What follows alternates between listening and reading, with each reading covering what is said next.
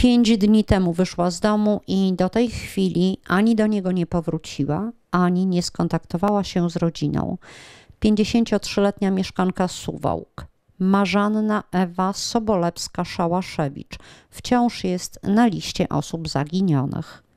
Kobieta opuszczając miejsce zamieszkania ubrana była w czerwoną kurtkę lub płaszcz oraz czarne spodnie.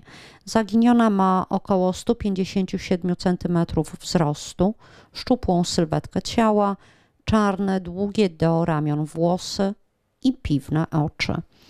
Osoby, które znają lub mogą pomóc w ustaleniu miejsca pobytu pani Ewy, proszone są o kontakt z Wydziałem Kryminalnym Suwalskiej Komendy lub najbliższą jednostką policji. Numer telefonu to 47 714 15 44. Można również skontaktować się z telefonem zaufania 47 714 12 60.